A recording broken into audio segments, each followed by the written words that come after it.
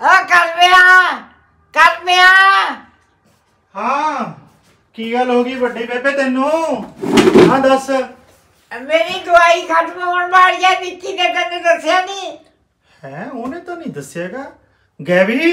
ਹਾਂਜੀ ਕੀ ਗੱਲ ਹੋ ਗਈ? ਕੀ ਗੱਲ ਹੋ ਗਈ ਕਿ? ਤੂੰ ਦੱਸਣਾ ਨਹੀਂ ਤਾਂ ਘਰ ਦੇ ਪ੍ਰਤੀ ਤੇਰੀ ਕੋਈ ਜ਼ਿੰਮੇਵਾਰੀ ਨਹੀਂ ਆ ਬੇਬੇ ਦੀ ਦਵਾਈ ਖਤਮ ਹੋਈ ਪਈ ਆ ਤੈਨੂੰ ਕਿੰਨੀ ਵਾਰੀ ਇਹਨੇ ਕਹਿਤਾ ਮੈਨੂੰ ਦੱਸ ਤਾਂ ਦਿੰਦੀ। ਕਿੰਨੀ ਵਾਰੀ ਕਦੋਂ ਕਿਹਾ? ਸਿਰਫ ਅੱਜ ਹੀ ਸਵੇਰੇ ਦੱਸਿਆ ਮੈਨੂੰ ਬੇਬੇ ਨੇ।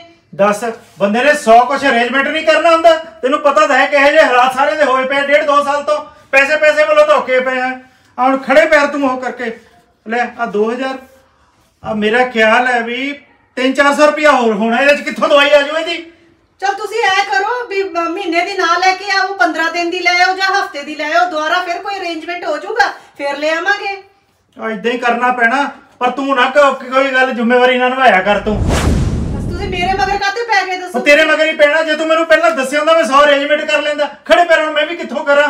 ਤੁਹਾਨੂੰ ਵੀ ਤਾਂ ਪਤਾ ਹੁੰਦਾ ਵੀ ਇਹਨਾਂ ਕੁ ਦਿਨਾਂ 'ਚ ਬੇਬੇ ਦੀ ਦਵਾਈ ਖਤਮ ਹੋ ਜਾਂਦੀ ਆ। ਕਿਹੜਾ ਕੁਝ ਬੰਦਾ ਕਿਹੜੀਆਂ ਕਿਹੜੀਆਂ ਗੱਲਾਂ ਚੇਤੇ ਰੱਖੇ? ਘਰ ਦੀਆਂ ਚੀਜ਼ਾਂ ਕਿ ਬਾਹਰਲੀਆਂ ਜ਼ਿੰਮੇਵਾਰੀਆਂ ਕਿਹੜੀਆਂ ਨਿਭਾਓ ਘਰ ਦੀ ਜ਼ਿੰਮੇਵਾਰੀ ਤਾਂ ਲੇਡੀ ਦੀ ਹੁੰਦੀ ਆ। ਅੱਛਾ ਚਲੋ ਮੇਰੇ ਤੋਂ ਗਲਤੀ ਹੋ ਗਈ ਮੈਂ ਅੱਗੇ ਤੋਂ ਧਿਆਨ ਰੱਖੂੰਗੀ। ਚੱਲ ਜਾ ਪਾਣੀ ਪਿਲਾ ਪਹਿਲਾਂ। ਬਸ ਕਿੱਡੀ ਲਾਪਰਵਾਹੀ ਹੋਈ ਪਈ ਆ। ਬੰਦੇ ਦੀ ਮਜਬੂਰੀ ਨੂੰ ਤੇ ਸਮਝਦੇ ਹੀ ਨਹੀਂ ਹੈ। ਤੁਹਾਨੂੰ ਸਭ ਨੂੰ ਆਪਦੀ ਆਪਦੀ ਪਈ ਆ। ਤੁਹਾਨੂੰ ਯਾਦ ਨਹੀਂ ਅੱਜ ਮੇਰਾ ਬਰਥਡੇ ਆ? ਕਿਸੇ ਨੇ ਮੈਨੂੰ ਮੇਰਾ ਬਰਥਡੇ ਵਿਸ਼ ਕਰਨਾ ਯਾਦ ਹੀ ਨਹੀਂ। ਓਹੋ ਲੈ ਆ ਇਹ ਰੌਲੇ ਘਚੋਲੇ ਚ ਇਹਦਾ ਤਾਂ ਭੁੱਲ ਹੀ ਗਿਆ। ਹਾਂ, ਓਹੋ ਹੈਪੀ ਬਰਥਡੇ ਆ happy birthday Khushu. Thank you ਵੱਡੀ ਬੇਬੇ। ਨਾਲੇ ਪਾਪਾ ਕੱਲੀ ਵਿਸ਼ ਨਾਲ ਨਹੀਂ ਸਰਨਾ। ਮੈਂ ਕੇਕ ਵੀ ਕੱਟਣਾ ਸੈਲੀਬ੍ਰੇਟ ਵੀ ਕਰਨਾ ਤੇ ਮੈਨੂੰ ਗਿਫਟ ਵੀ ਚਾਹੀਦਾ। ਕੀ ਗੱਲ ਪਾਪਾ? ਤੁਸੀਂ ਮੇਰੇ ਕੇਕ ਤੇ ਗਿਫਟ ਦਾ ਨਾਂ ਸੁਣ ਕੇ ਤਾਂ ਸੋਚਾਂ 'ਚ ਹੀ ਪੈ ਗਏ। ਸੋਚਾਂ 'ਚ ਇਸ ਕਰਕੇ ਪੈ ਗਿਆ ਖੁਸ਼ੂ ਕਿਉਂਕਿ ਇੰਨੇ ਦਿਨੇ ਨਾ ਆਪਣਾ ਹੱਥ ਬਹੁਤ ਤੰਗ ਆ। ਮੈਨੂੰ ਇਹ ਨਹੀਂ ਸਮਝ ਆਉਂਦੀ ਵੀ ਤੇਰੇ ਵਾਸਤੇ ਕੇਕ ਜਾਂ ਗਿਫਟ ਦਾ ਅਰੇਂਜਮੈਂਟ ਕਰੀਏ ਜਾਂ ਬੇਬੇ ਦੀਆਂ ਦਵਾਈਆਂ ਦਾ। ਆ ਵਿੱਚ ਹੁਣ ਬੇਬੇ ਦੀਆਂ ਦਵਾਈਆਂ ਨੂੰ ਵੀ ਘੜੀਸ ਲਓ। ਮੈਨੂੰ ਤਾਂ ਮੇਰਾ ਕੇਕ ਤੇ ਬਰਥਡੇ ਗਿਫਟ ਚਾਹੀਦਾ ਹੀ ਚਾਹੀਦਾ।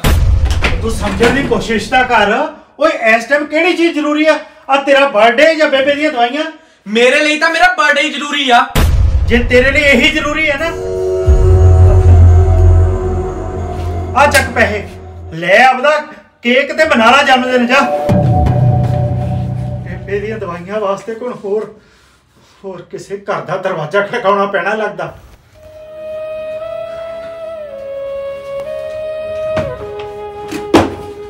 ਜਵਾਕ ਵੀ ਕਿੱਥੇ ਅੱਜ ਕੱਲ ਮਾਪਿਆਂ ਦੀਆਂ ਮਜਬੂਰੀਆਂ ਨੂੰ ਸਮਝਦੇ ਆ? ਇਹਨਾਂ ਨੂੰ ਤਾਂ ਸਿਰਫ ਆਪਦੀਆਂ ਡਿਮਾਂਡਾਂ ਪੂਰੀਆਂ ਹੋਣੀਆਂ ਚਾਹੀਦੀਆਂ ਨੇ। ਕਾਕਾ ਤੂੰ ਟੈਨਸ਼ਨ ਨਾ ਲੈ। ਜੇ ਦੋ ਚਾਰ ਦਿਨ ਦਵਾਈ ਨਹੀਂ ਵੀ ਆਊ ਬੱਚਿਆਂ ਦੇ ਚਾਹ ਪੂਰੇ ਹੋਣੇ ਚਾਹੀਦੇ ਨੇ। ਉਹ ਤਾਂ ਤੇਰੀ ਗੱਲ ਠੀਕ ਆ ਬੇਬੇ ਪਰ ਜਵਾਕਾਂ ਦੇ ਜਿਹੜੇ ਚਾਅ ਵੀ ਰਾਹ ਸਿਰ ਦੇ ਹੋਣੇ ਚਾਹੀਦੇ ਆ ਜਿਹੜੇ ਆਪਾਂ ਪੂਰੇ ਕਰਨੇ ਆ ਉਹ ਘੱਟੋ ਘੱਟ ਜਵਾਕਾਂ ਨੂੰ ਆਪਣੀ ਮਜਬੂਰੀ ਵੀ ਤਾਂ ਸਮਝਣੀ ਚਾਹੀਦੀ ਆ। ਜਦੋਂ ਪਤਾ ਸੀ ਵੀ ਆਪਾਂ ਨੂੰ ਮਜਬੂਰੀ ਆ ਉਹਨੂੰ ਤਾਂ ਤੁਸੀਂ ਦਬਕਾ ਮਾਰ ਕੇ ਰੋਕ ਵੀ ਸਕਦੇ ਸੀਗੇ। ਉਹ ਬਰਾਬਰ ਦੇ ਜਵਾਕਾਂ ਨੂੰ ਅੱਜ ਕੱਲ ਦਬ ਕੇ ਮਾਰਦਾ ਵੀ ਜ਼ਮਾਨਾ ਨਹੀਂ ਰਿਹਾ ਹੈਗਾ। ਉਹ ਮੈਂ ਕਿਹਾ ਚੱਲ ਦੇ ਕੇ ਪਰਾਂ ਕਰੋ ਦੇਖੀਓ ਜੋ ਹੋਊਗਾ। ਪਰ ਇਸ ਟਾਈਮ ਤਾਂ ਜ਼ਿਆਦਾ ਜ਼ਰੂਰੀ ਬੇਬੇ ਦੀ ਦਵਾਈ ਸੀ ਨਾ। ਇਹ ਤਾਂ ਆਪਾਂ ਨੂੰ ਪਤਾ ਉਹਨੂੰ ਤਾਂ ਨਹੀਂ ਪਤਾ। ਉਹਨੂੰ ਤਾਂ ਉਹਦਾ ਜਨਮ ਦਿਨ ਦਿਸਦਾ ਗਿਫਟ ਦਿਸਦਾ ਕੇਕ ਦਿਸਦਾ। ਚੱਲ ਕੋਈ ਨਹੀਂ ਹੁਣ ਮੈਂ ਕਿਤੇ ਹੋਰ ਕੋਈ ਹੱਲ ਕਰਦਾ।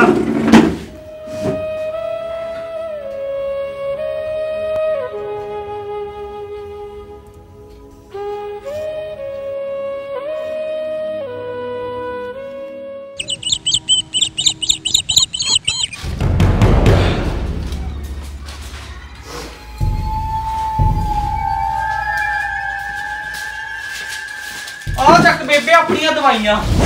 ਤੇਰੀ ਦਵਾਈ 'ਚ ਕੋਈ ਨਾਗਾ ਨਹੀਂ ਪੈਣਾ ਚਾਹੀਦਾ। ਕੁਝੂ ਆਪਣੇ ਲਈ ਕੇਕ ਲੈਣ ਗਿਆ ਸੀ। ਇਹ ਦਵਾਈਆਂ ਕਿਉਂ ਲਿਆਇਆ? ਹਾਂ ਹਾਂ। ਆ ਦੇ ਜਵਾਬ। ਪਾਪਾ ਜੀ ਮੈਂ ਲੈਣ ਤਾਂ ਜਨਮ ਦਿਨ ਦਾ ਕੇਕ ਹੀ ਗਿਆ ਸੀ। ਪਰ ਫਿਰ ਮੈਂ ਸੋਚਿਆ ਕਿ ਮੇਰੇ ਜਨਮ ਦਿਨ ਦੇ ਕੇਕ ਨਾਲੋਂ ਜ਼ਿਆਦਾ ਜ਼ਰੂਰੀ ਮੇਰੀ ਬੇਬੇ ਦੀਆਂ ਦਵਾਈਆਂ ਨੇ। ਨਾਲੇ ਮੰਮਾ ਜਨਮ ਦਿਨ ਤਾਂ ਮੈਂ ਫੇਰ ਅਗਲੇ ਸਾਲ ਮਨਾ ਲੂ ਪਰ ਦਵਾਈਆਂ ਤੋਂ ਬਿਨਾ ਜੇ ਮੇਰੀ ਬੇਬੇ ਨੂੰ ਕੁਝ ਹੋ ਗਿਆ ਫੇਰ? ਦੇਖਿਆ? ਆਪਣਾ ਪੁੱਤ ਸਿਆਣਾ ਹੋ ਗਿਆ।